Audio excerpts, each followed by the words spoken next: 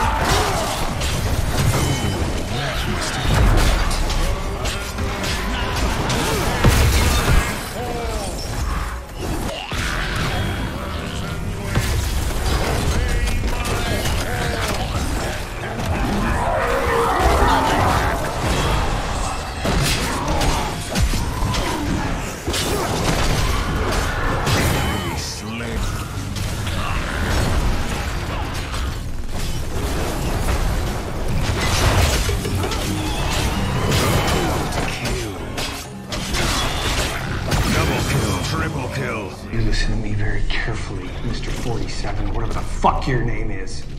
There's a lot of ways that this thing can end, and that is entirely up to you. But you can be goddamn certain that this thing is not going to end the way that you thought it was. Because the last time I checked, you're locked in here with me.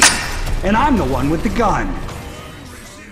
Shall we see who gathers enough tribute this time? When a plan comes together.